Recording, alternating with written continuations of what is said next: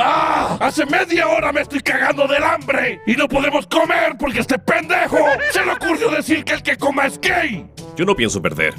Yo tampoco. Yo tampoco. Yo menos. ¡Ah!